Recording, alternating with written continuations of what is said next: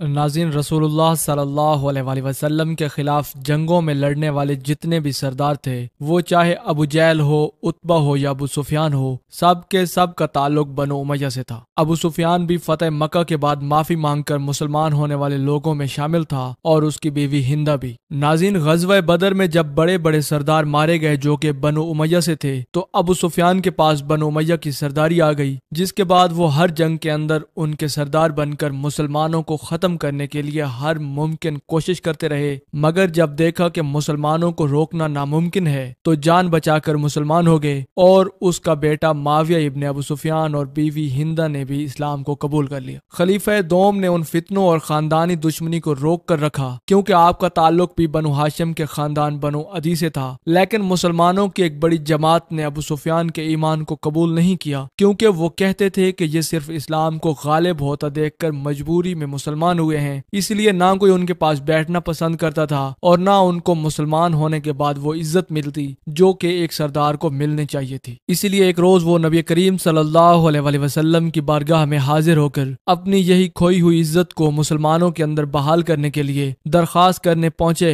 कि आप मेरी बेटी उम हबीबा से शादी कर लें, ताकि मुझे भी आपके ससुर का दर्जा हासिल हो जाए और मुसलमानों के अंदर अपनी इज़्ज़त को बढ़ा सकूँ। दूसरा, मुझे भी अमीर बनाकर मुसलमानों के साथ कुछ जंगों के अंदर भेज। दें और तीसरा ये कि मेरे बेटे माविया को जो कि पढ़ना लिखना जानता है, आप उसे काते वही रख लें। आप सल्लल्लाहु अलैहि वसल्लम ने तमाम शर्तें मान ली कि जहाँ पर कई सौ काते वही मौजूद हैं तो वहाँ पर किसी की दिलजोई की खातिर एक और सही, यानी आप सल्लल्लाहु अलैहि वसल्लम से मांग कर ये मकाम मुआविया इब्ने अबू सुफियान को दिया गया कि वो काते वही बने। क्योंकि रसूलुल्लाह सल्लल्लाहु अलैहि वसल्लम की आदत थी कि कोई भी शख्स उनसे किसी चीज़ की दरखास्त करता या कुछ भी माँगता तो आप उससे कभी भी इनकार न करते। नबी रहमत सल्लल्लाहु अलैहि वसल्लम ने एक बार माविया को किसी ज़रूरी काम से तलब किया तो जवाब मिला कि वो खाना खा रहा है। दूसरी बार कुछ वक्त के बाद फिर बुलाया तो जवाब आया कि अभी तक खाना खा रहा है। आप सल्लल्लाहु अलैहि वसल्लम ने यह सुनकर फरमाया कि उसका पेट कभी नहीं भरेगा, और नबी सल्लल्लाहु अलैहि वसल्लम की बदुआ भी ऐसे ही असर करती है, जैसे कि दुआ असर करती है। नाजीन, हज़रत उमर के दौर तक ये चार साल तक दमिश का गवर्नर रहा। हज़रत उस्मान के दौर खिलाफत के अंदर ये बारह साल तक मुल्क शाम का गवर्नर हज़रत उस्मान ने खलीफा बनने के बाद उन्हें मुल्क शाम और इराक का भी गवर्नर बना दिया और ये पूरे बारह साल तक इतने बड़े इलाके का गवर्नर रहा। जब हज़रत उस्मान तीसरे खलीफा बने तो बहसीत इंसान उनसे कुछ गलतियाँ हुई और वो गलतियाँ ये थी कि उन्होंने अपने खानदान बनो उमैया के लोगों को नवाजना शुरू कर दिया। उन्हें बड़े बड़े ओहदों पर बिना किसी मकसद के सिर्फ़ खानदानी होने की वजह से नवाज़ दिया करते।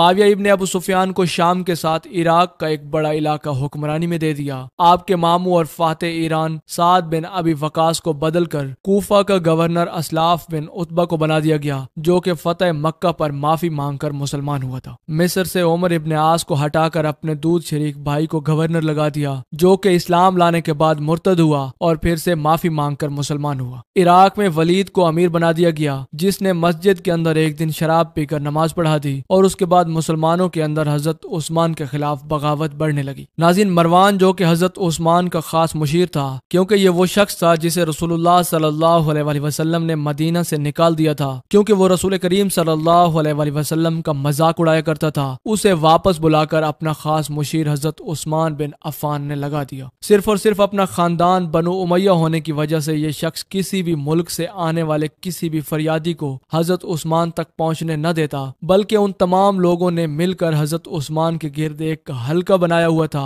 और उनको बेखबर ही रखते थे। ये लोग किसी शिकायती खत को भी हज़रत उस्मान तक न पहुँचने देते या फिर मरवान खुद से कोई जवाब लिखकर उस पर हज़रत उस्मान की मोहर लगाकर उसे वापस भेज देता, जिससे लोगों का गुस्सा और ज़्यादा बढ़ने लगा। बनो उमैया के गवर्नर्स ने लोगों का जीना हराम कर रखा था और ये बात तब खुली जब वलीद का वाक्य हुआ। यानी उसने शराब पीकर फजर की नमाज़ पढ़ाई और एक सवाली जब ये शिकायत लेकर मदीना पहुँचा, तब हज़रत आयशा रज़ी अल्लाह तहा ने हज़रत उस्मान के सामने नबी करीम सल्लल्लाहु अलैहि वसल्लम के नालैन मुबारक को उठाकर हवा में लहरा कर फरमाया, अभी तक नबी रहमत सल्लल्लाहु अलैहि वसल्लम के नालैन मुबारक भी पुराने नहीं हुए और इस्लाम का नक्शा तक बदल गया है। इस्लाम का निज़ाम तबाह कर दिया गया है। आपको बन उमैया ने बेखबर रखा और यूँ तमाम हालात खुलकर हज़रत उस्मान के सामने आ गए। उनको असल हालात की खबर हुई और उन्होंने वलीद को बुलाकर कोड़े मारे, लेकिन अब तक बहुत देर हो चुकी थी। मुसलमानों का गुस्सा हद से से ज़्यादा बढ़ चुका था और यूँ देखते ही देखते दो हज़ार के करीब बागी मदीने के अंदर जमा हो गए और हज़रत उस्मान के खिलाफ एहतजाज करने लगे कि वो खिलाफत से दस्तबरदार हो जाए। नाजिन मौल कैनात हज़रत अली इबन अबी तालिब अलैहिस्सलाम भी हज़रत उस्मान की इस पॉलिसी से नाराज़ थे और उन्हें समझाते भी थे, मगर उसके बाद वो खामोश हो गए। लेकिन जब एहतजाज करने वाले लोगों ने हज़रत उस्मान के घर का मुहासरा किया तो हज़रत अली ने अपने दोनों बेटे, हज़रत इमाम हसन और हज़रत इमाम हुसैन इबन अली को उनकी हिफाजत पर मामूर कर दिया। हज़रत उस्मान की बलवाइयों यानी बागियों लोगों के हाथों शहादत के बाद हज़रत अली को हंगामी बुनियादों पर खलीफा चुनने के लिए लोग इकट्ठा हो गए। हालाँकि हज़रत अली अलैहिस्सलाम ये बिल्कुल नहीं चाहते थे और वो ये जानते थे कि हालात खराब करके उनके हवाले किए जा रहे हैं, जिन्हें सुधारना अब तकरीबन नामुमकिन है, क्योंकि उस वक्त दो खानदानों की दुश्मनी को हवा दी जा चुकी थी, जो कि आसानी से खत्म नहीं होगी। लेकिन मुसलमानों को इस हालत के अंदर अकेले छोड़ देना भी मौला कैनात को कहाँ बर्दाश्त था? लेकिन आपने ये खिलाफत कबूल कर ली और आते ही सबसे पहले ये हुक्म दिया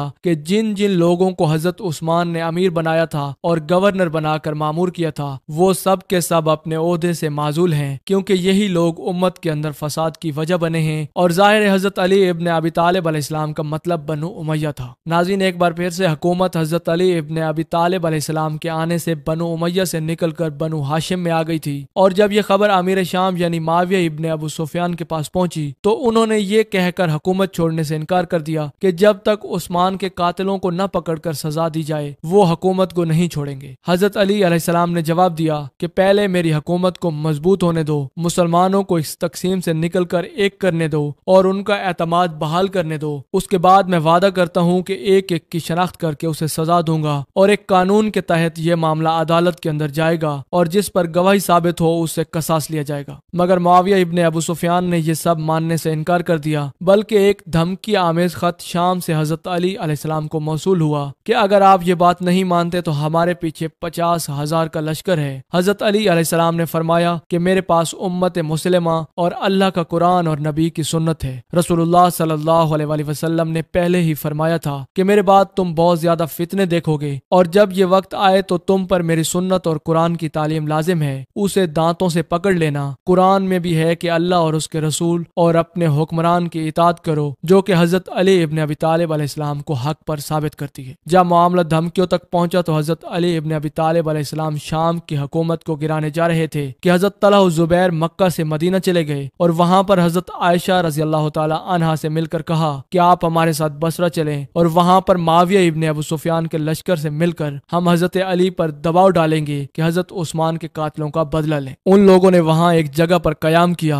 तो अचानक से वहाँ पर कुत्तों ने भौंकना शुरू कर दिया। हज़रत आयशा ने पूछा कि ये कौन सी जगह है? जवाब मिला कि ये मकाम हौब है। हज़रत आयशा रज़ी अल्लाह तहा को अचानक से रसूलुल्लाह सल्लल्लाहु अलैहि वसल्लम की एक हदीस मुबारक याद आ गई। जब आपने फरमाया था कि क्या होगा मेरी उस बीवी का जिस पर हौब के कुत्ते भौंकेंगे। हज़रत आयशा रज़ी अल्लाह तहा ने फ़ौरन से कहा कि यहाँ से चलो। मगर तलह जुबैर ने आपसे गुजारिश की कि हम तो माविया और हज़रत अली के दरमियान सुलह करवाने की गर्ज से जा रहे हैं कि उन दोनों के दरमियान जंग न हो। लेकिन अगर हमारे वापस जाने से ये जंग हो जाती है तो क्या आप तब भी खामोश रहेंगी? आहिस्ता आहिस्ता मामला सुलह की तरफ़ जा रहे थे, लेकिन मरवान ने यह शरारत की और रात के अंधेरे के अंदर दोनों मुसलमानों के लश्कर को एक दूसरे से लड़वा दिया, ताकि दोनों को लगे कि सामने वाले ने पहले हमला किया और इस लड़ाई के अंदर रात के अंधेरे में तकरीबन दस हज़ार लोग एक दूसरे को कत्ल करते हुए मारे गए। लेकिन हज़रत अली इबन अबी तालिब इस्लाम ये जंग जीत गए और हज़रत आयशा को इज़्ज़त से मदीना रवाना किया और मुसलमानों को माल गनीमत लूटने से भी मना किया। हज़रत आयशा रज़ी अल्लाह हमेशा अपनी इस गलती पर रोती रही कि मुझसे इतनी बड़ी बिदत और गलती हो गई, इसलिए मुझे हुजर आयशा के अंदर दफन होने का कोई हक नहीं, बल्कि जन्नतुल बकी के अंदर मुझे अपनी सौतनों के साथ दफन किया जाए, जहाँ पर आज भी उनकी कब्र मौजूद है। अब यहाँ पर जंग जमल के अंदर शहीद होने वाले फौजियों में ज़्यादातर तादाद कोफा और इराक के लोगों की थी, जहाँ पर सफ़े मातम बिछा हुआ था। ये सब लोग हज़रत अली इबन अबी तालिब अलैहिस्सलाम को कसूरवार ठहरा रहे थे, उन्हें गालियाँ तक दे रहे थे। मगर हज़रत अली अलैहिस्सलाम ने फौज को खामोश रहने का हुक्म दिया कि पलट कर कोई भी जवाब मत देना। उसके बाद हज़रत अली इबन अबी तालिब अलैहिस्सलाम की फौज इराक और शाम के दरमियान एक जगह पर पहुँची, जहाँ पर माविया की शाम की फौज से जंग होना थी, जिसको जंग सिफिन कहते हैं। हज़रत अली तकरीबन ये लड़ाई जीत चुके थे, मगर अमर बिन आस ने माविया को यह मशवरा दिया कि ऐसा करो कि कुरान नेजों पर उठाकर लोगों के दरमियान ये ऐलान कर दो कि ये कुरान ही हमारे दरमियान फैसला करेगा। अगर बात न बनी तो कम अज कम अली की फौज के अंदर फूट पड़ जाएगी और हम दोबारा अपनी फौज को इकट्ठा कर लेंगे और ऐसा ही किया गया। नाजिन तारीख गवाह है कि जंग सिफिन के अंदर कुरान को नेजों पर बुलंद किया गया। हज़रत अली अबी तालिब अलैहिस्सलाम की फौज के लोग तकसीम हो गए, जिसके बाद हज़रत अली अलैहिस्सलाम वापस मदीना आ गए और एक बार फिर से शाम की फौज पर हमला करने के लिए तैयारियाँ शुरू कर दी। इसी दौरान यहाँ पर एक नए फितने का आगाज़ हुआ और तकरीबन चार हज़ार लोगों ने यह तावील निकाली कि हुकूमत तो सिर्फ़ अल्लाह रब्बुल इज़्ज़त की है, कोई इंसान भला कैसे हुक्मरान हो सकता है? और इस सोच के साथ उन्होंने ये कहा कि मुआविया और अली दोनों मुर्तद और काफिर हैं, इन दोनों का कत्ल कर दो। हज़रत अली को उनसे भी जंग करना पड़ी, जिसे जंगे नहरवान कहते हैं। अब मुसलमानों की हुकूमत दो हिस्सों के अंदर तकसीम थी, एक हज़रत अली इबन अबी तालिब सलाम की, जिनके पास अरब सरजमीन की खिलाफत थी, और दूसरी तरफ़ अमर बिनास और माविया इबन अबू सुफियान की शाम और इराक की हुकूमत। और ज़ाहिर है कि यहाँ हज़रत अली इबन अबी तालिब सलाम हक पर थे, क्योंकि जब हजाज मुकदस यानी मक्का और मदीना के लोगों ने हज़रत अली सलाम को खलीफा चुना तो हर किसी पर उनकी इतात वाजिब थी, चाहे वो कितने ही बड़े दर्जे का सहाबी क्यों ना हो। हज़रत अली मुतफिका तौर पर मुसलमानों के खलीफा चुने गए थे, मगर माविया इबन अबू सुफियान ने हुकूमत वक्त का हुक्म न मानकर बगावत की, जो कि कुरान और हदीस का इनकार था। रसूलुल्लाह सल्लल्लाहु अलैहि वसल्लम ने अपने असहाब को एक बार फरमाया था कि तुम में से एक शख्स ऐसा भी है जिसको मेरे दीन की तावील की खातिर, यानी कुरान की तालीमत और उनको समझाने के लिए मुसलमानों के खिलाफ तलवार उठाना पड़ेगी, और वो हज़रत अली इबन अबी तालिब सलाम थे, जिनकी तरफ़ हजूर नबी रहमत सल्लल्लाहु अलैहि वसल्लम ने इशारा करके फरमाया, वो अली जो मेरे जूते गांठ रहा है। साहब कराम अलहम रिजवान हज़रत अली इबन अबी तालब सलाम की तरफ़ बढ़े, और उन्होंने सुनकर ऐसा तासुर दिया जैसे उन्हें ये सब पहले से मालूम था, और वो इस सबको पहले से ही जानते थे। नाजीन इसके बाद कुतब हदीस में हदीस अम्मार के नाम से एक हदीस दर्ज है, जो कि सही मुस्लिम, यानी हदीस की एक मोतबर किताब की अट्ठाईस सौ बारह नंबर हदीस है। जब हज़रत अमार मस्जिद नबी की तामीर के अंदर बढ़ चढ़कर काम कर रहे थे दो दो पत्थर उठाकर अपने कंधों पर जोश जज्बे से उसकी तामीर में लगे हुए थे, तब आप सल्लल्लाहु अलैहि वसल्लम ने उन्हें देखकर फरमाया ए सुमैया के बेटे, क्या हो गया है? जब तुझे एक बागी जमात कत्ल करेगी, तुम उसे अल्लाह के रास्ते पर और जन्नत की तरफ़ बुलाओगे, लेकिन वो तुम्हें जहन्नम की तरफ़ बुलाएगी। और बागी जमात जिसने हज़रत अम्मार को कत्ल किया, वो माविया इबन अबू सुफियान की जमात थी। और इस हदीस मुबारक के मुताबिक ये बात साबित होती है कि मुआविया की जमात बागी थी, जिनके खिलाफ हज़रत अली इबन अबी तालिब अलैहिस्सलाम की जंग बिल्कुल जायज़ थी। नाजिन दूसरी बात यह कि माविया हज़रत उस्मान इबन अफ़ान के कत्ल के कसास यानी बदले के वारिस नहीं थे। वो सिर्फ़ उस खानदान के फर्द थे। उनका सिलसिला नसब में कितना ज़्यादा फासला है, यानी ये दूर के कज़न है। जिनका विरासत के अंदर भी कोई हक नहीं बनता। हज़रत उस्मान की औलाद ने भी ऐसा कोई दावा नहीं किया। हालाँकि वो भी उस वक्त ऐसा कर सकते थे, लेकिन कसास का भी एक अलग से इस्लाम के अंदर निज़ाम है। खुद से कानून को हाथ में लेना, ये किस तरह का बदला लेना है? नाजीन हज़रत अली अलैहिस्सलाम वो हस्ती हैं जिन्होंने इस्लाम को अवाइल से देखकर तीन बर आजमों के अंदर फैलते हुए देखा। और अब बुढ़ापे में वो ये वक्त देख रहे हैं कि हर जंग के अंदर मुसलमान एक दूसरे को कत्ल कर रहे हैं, तकसीम हो चुके हैं, फसादात और फूट पड़ चुकी है। इस्लाम का शराजा बिखर रहा है। इसीलिए जंग के अंदर भी आपके मुखालिफ आने वालों की लाशों पर बैठकर आप रोया करते थे, या मदीना के पास कुएँ पर बैठकर रोया करते थे, जहाँ पर कोई भी शख्स आपको देख न सके। आप रोते रहते हैं और ये दुआ करते हैं ए अल्लाह, मुआविया और उसके शिया को तबाह कर, जिसने मुसलमानों में फसाद और फूट डाली और इस खिलाफत के निज़ाम को तोड़कर बादशाहत के निज़ाम की बुनियाद रखी। उसका और मेरा फैसला कयामत के रोज ही होगा।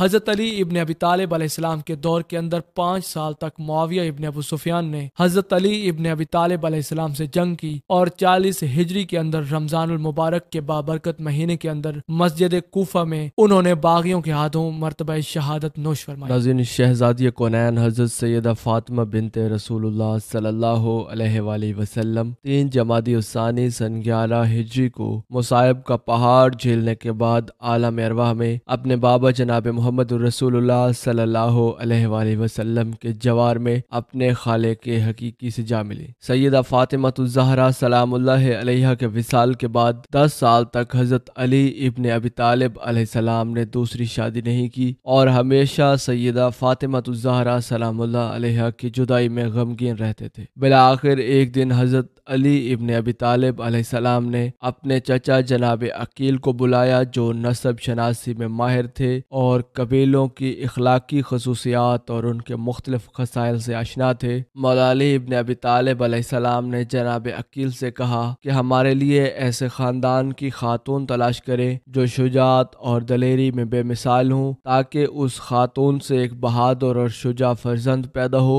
कुछ अरसे बाद जनाब अकील ने कबील बनी कुलाब की खातून की अमीरमिन हज़रत अली इबन अबी तालब सलाम को पहचान करवाई, जिसका नाम भी फातिमा था, जिनके अबाउ अजदाद अरब के शुजा और बहादुर लोग थे। माँ की तरफ़ से भी अजमत की हामिल थी। उनको फातिमा के अलाबिया भी कहा जाता था और बाद में उम्मुल बनीन के नाम से मशहूर हुई। जनाब अकीर रिश्ते के लिए हज़रत फातिमा किलाबिया सलाम के वालद के पास गए। उन्होंने बड़े ही फख्र से इस रिश्ते को कबूल किया और मुस्बत जवाब दिया। हज़रत अली इबन अबी तालिब सलाम ने उस खातून के साथ निकाह किया। हज़रत फातिमा केलाबिया सलाम नहायत ही नजीब और पाक दामन खातून थी। शादी के बाद जब अमीरमिन हज़रत अली इबन अबी तालिब सलाम के घर आई तो इमाम हसन और इमाम हुसैन इबन अली सलाम बीमार थे। उनकी खिदमत और देखभाल करना शुरू कर दी। कहते हैं कि जब उन्हें फातिमा के नाम से बुलाया जाता तो कहती, मुझे फातिमा के नाम से न पुकारो। तुम्हारे लिए तुम्हारी माँ फातिमा तो जहरा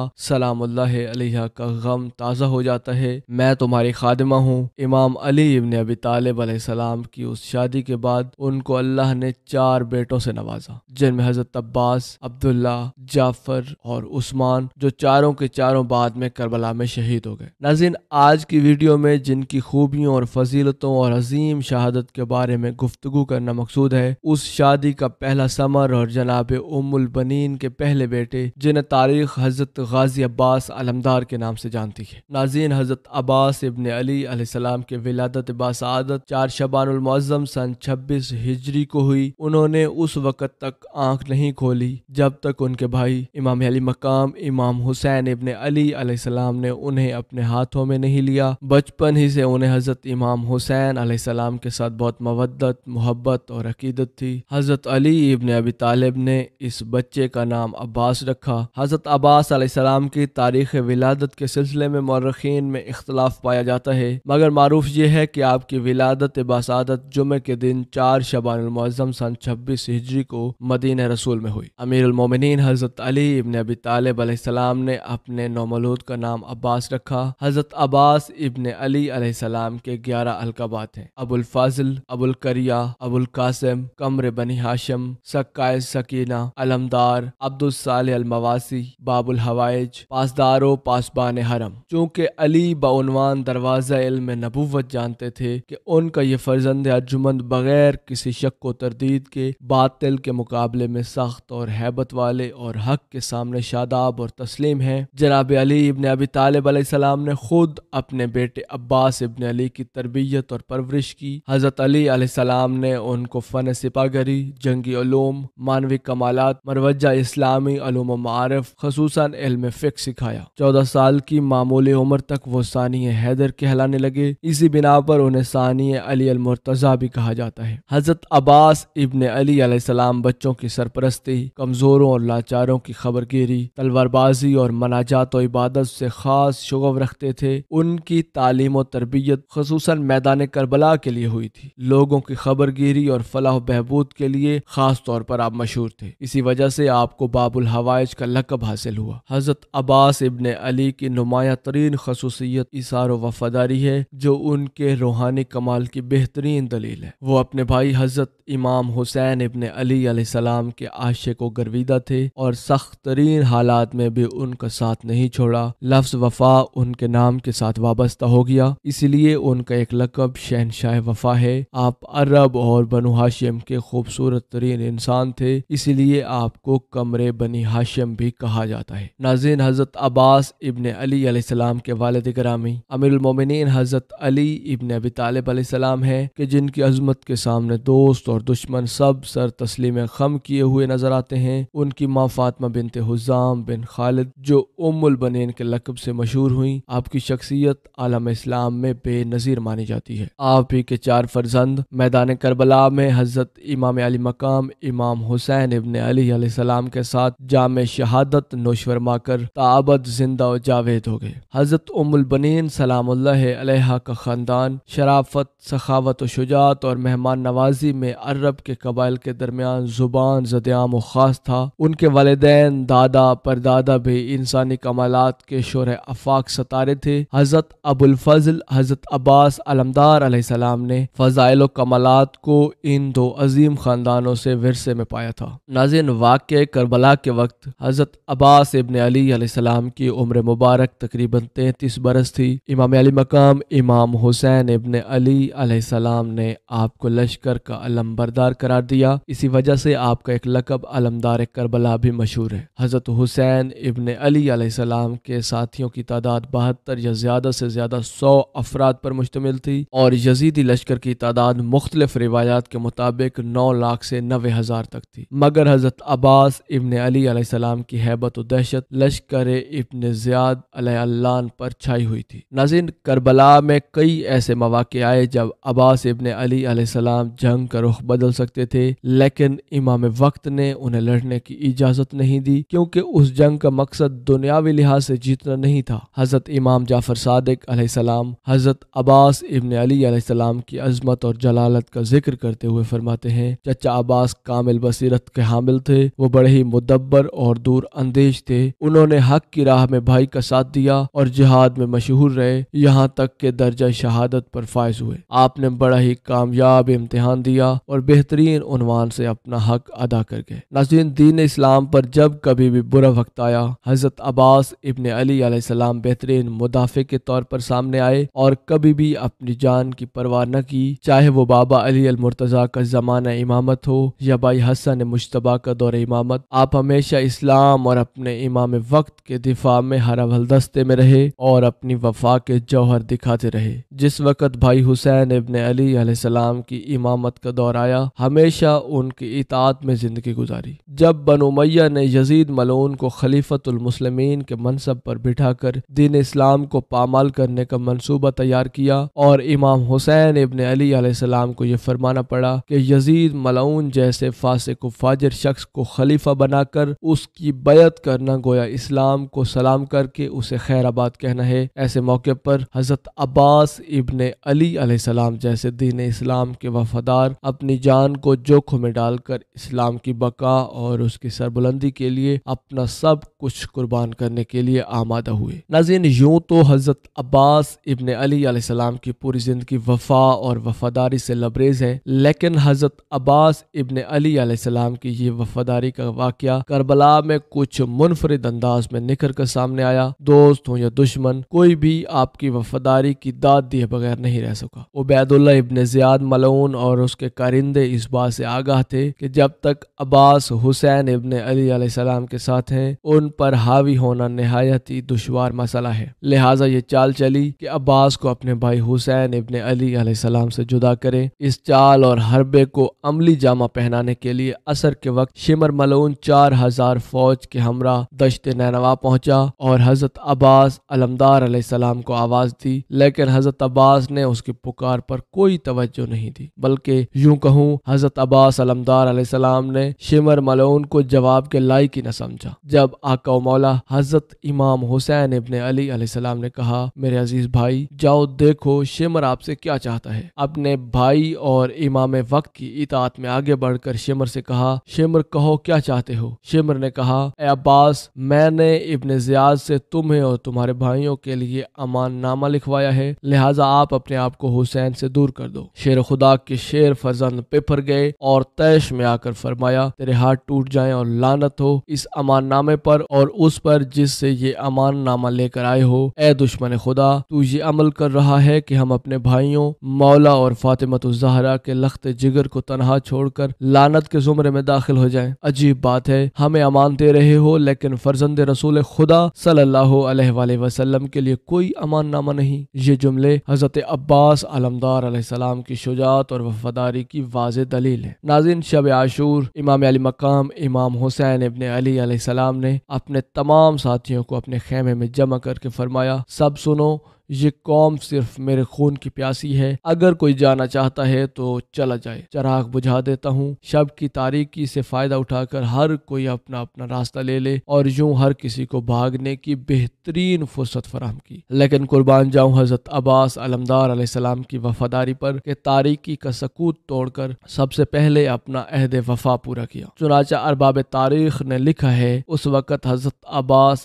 सलाम ने आगाज़ सुखन फरमाया और इमाम हुसैन इबन अली सलाम की खिदमत में अर्ज़ किया, हम ये काम क्यों अंजाम दें? क्या इसलिए कि आपके बाद बाकी रहें, यानी ज़िंदा रहें? नहीं, खुदा कभी भी ये चीज़ आपकी जुदाई में हमें न दिखाए। मैदान करबला में जब इमाम अली मकाम, इमाम हुसैन इबन अली सलाम के बेटे हम शक्ल पैम्बर शबी रसूल, जनाब हज़रत अली अकबर शहीद हुए तो कई बार हज़रत अब्बास ने इमाम हुसैन इबन अली सलाम से जंग की इजाज़त चाही। हर बार इमाम ने यह कहकर मना किया कि अब्बास तो मेरी फौज का सालार है? अगर तू जाएगा तो मेरी फौज का क्या बनेगा? मेरा दिल कहता है, मौला अब्बास ने फरमाया होगा, ए मौला हुसैन, कहाँ है वो फौज जिसका मैं अब्बास से पे सालार हूँ? शायद इमाम हुसैन इबन अली सलाम हज़रत अब्बास अलमदार को कुछ देर और अपने दरमियान रोकना चाहते थे, क्योंकि इमाम जानते थे कि ख़याम में मौजूद मुखदरात इसमत और अहल बैत के मासूम बच्चों का आसरा सिर्फ़ अब्बास है। जब तक हज़रत अब्बास ज़िंदा थे, उनकी उम्मीदें भी ज़िंदा थीं। जब हज़रत अब्बास का इसरार बढ़ा तो इमाम ने यह कहकर कि खेमों में छोटे बच्चे तशने लब हैं, उनके लिए कुछ पानी का बंदोबस्त करो। हज़रत अब्बास अलमदार ने अपने भाई हुसैन इबन अली सलाम के माथे को चूमा और नहर फुरात की तरफ़ बढ़े। फौज अशकिया की सफ़ों को चीरते हुए नहर फुरात तक पहुँचे। मिशकीजे को पानी से भरा।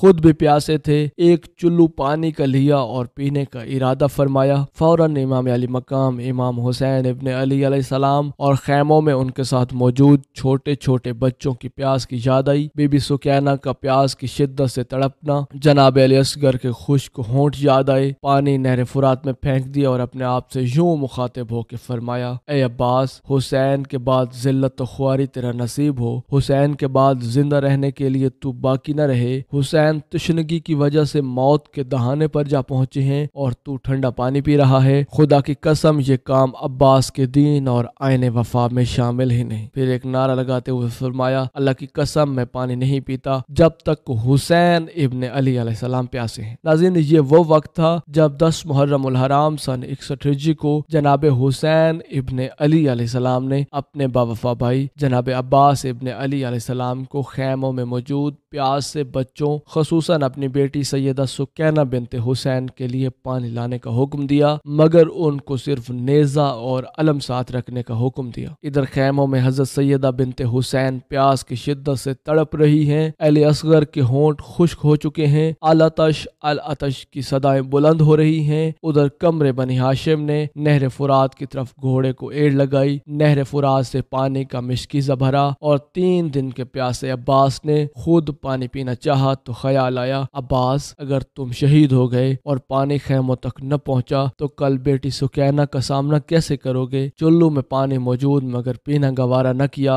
और घोड़े पर सवार होकर खयाम का रुख किया तो लश्कर यजीद ने आपको घेर लिया। नाजरीन, मकतल की तारीख कहती है कि एक जालिम ने तलवार मारकर बाजू काट दिया। जनाब अब्बास अलमदार सलाम ने पानी का मिशकीजा दूसरे हाथ में थामा तो जालमों ने दूसरा बाजू भी तन वफा से अलग कर दिया। मिशकीजे का तस्मा दांतों में थाम कर खैमों की तरफ़ बढ़ने लगे और झुके हुए थे मिशकीजे पे हज़रत अब्बास। बस इसी असना में एक तीर मिशकीजे को लगा। मैं कहता हूँ ये तीर मिशकीजे को तो न लगा। अहल के मासूम प्यासे बच्चों की उम्मीदों पे ये तीर लगा। तो पानी ज़मीन पे बह गया। बस जनाब अब्बास अलमदार सलाम की उम्मीदें टूटी। तो बाबुल हवाइज भी ज़मीन पर गिर पड़े और यजीदी लश्कर ने तीरों और तलवारों की बारिश में शहीद कर दिया। जो वो शीशे में कहा जो अलमास में है, सारे आलम की वफा हज़रत अब्बास में है। नाजिन शहादत हज़रत अब्बास अलमदार सलाम के बाद जैसे बाकी शहदा के साथ सलूक हुआ, वैसे ही हज़रत अब्बास इब्न अली सलाम के साथ हुआ। उनका सर काट कर नेजे पर बुलंद किया गया और जिसमें मुबारक को घोड़ों के सुमों से पामाल किया गया।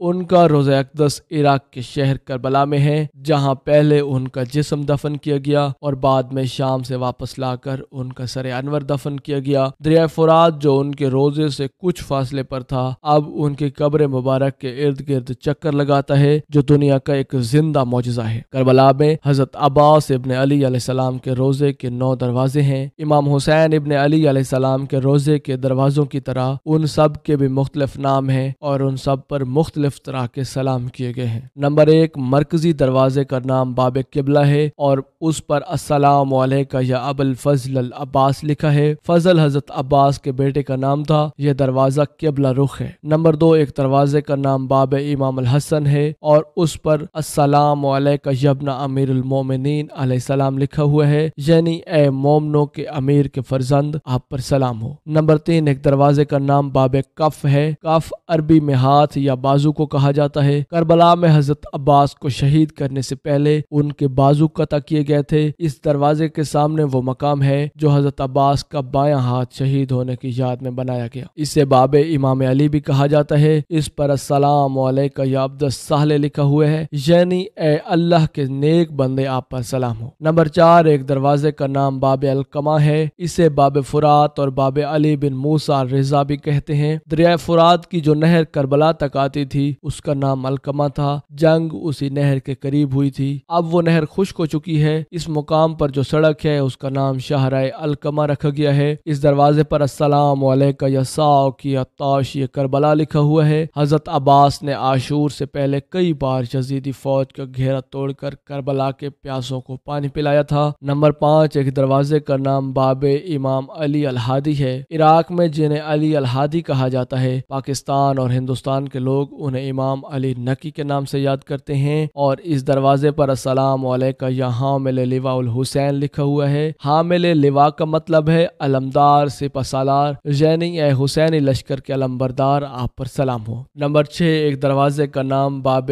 इमाम मोहम्मद अल जवाद है। इराक में जिन्हें इमाम मोहम्मद जवाद कहा जाता है, पाकिस्तान और हिंदुस्तान में लोग उन्हें इमाम मोहम्मद तकी सलाम के नाम से याद करते हैं। इस दरवाजे पर असलाम या कमरे बनी हाशिम लिखा हुआ है। पाकिस्तान के जलूसों में उठाए गए अलमों पर अक्सर कमरे बनी हाशिम लिखा हुआ देखने को मिलता है। हज़रत अब्बास नहायत खूबसूरत और वजी थे, इसीलिए उन्हें ये लकब दिया गया है। यानी ए बनी हाशिम के चाँद आप पर सलाम हो। नंबर सात, एक दरवाजे का नाम बाब इमाम मूसा काजिम है। इमाम मूसा काजिम के नाम से ये जो दरवाज़ा है, जिस पर असलाम या बाबुल हवाइज लिखा हुआ है, बाबुल हवाइज का मतलब है ऐसा दरवाज़ा जहाँ हाजतें पूरी की जाती हैं। यानी ए हाजतें पूरी करने वाले आप पर सलाम हो। नंबर आठ, एक दरवाजे का नाम बाब इमाम साहेबुजमा है। इमाम साहेबुजमा का मतलब है दौर हाजिर के इमाम, यानी आलम इस्लाम के इमाम मोहम्मद मेहदी सलाम इस दरवाजे पर असलाम यमन वफा बैती लिखा हुआ है। हज़रत अब्बास का नाम वफा से जुड़ा हुआ है। यानी ए अपनी बैत से वफा करने वाले आप पर सलाम हो। नंबर नौ, एक दरवाजे का नाम बाब इमाम हुसैन है। ये रोज़े हुसैन की तरफ़ खुलता है और इस पर लिखा हुआ है ए हर काम में बसीरत अख्तियार करने वाले आप पर सलाम हो। नाजीन हज़रत अब्बास अलमदार सलाम की औलाद इस वक्त दुनिया के काफ़ी ममालिक में पाई जाती है। आप अलवी सैयद कबीले बनु हाशिम से हैं, इसलिए आपकी औलाद दुनिया में सादात अलवी के नाम से मशहूर मारूफ है। इसलिए आपकी औलाद अरब इराक में सादात अलवी, मिस्र में सादात बनी हारून, उर्दन में सादात बनु शहीद, यमन में सादात बनु मत, ईरान में सादात अलवी अबुल फजली और बरसगीर पाको हिंद में सादात अलवी आलमारूफ कुतब शाही के उनवान से मशहूर है।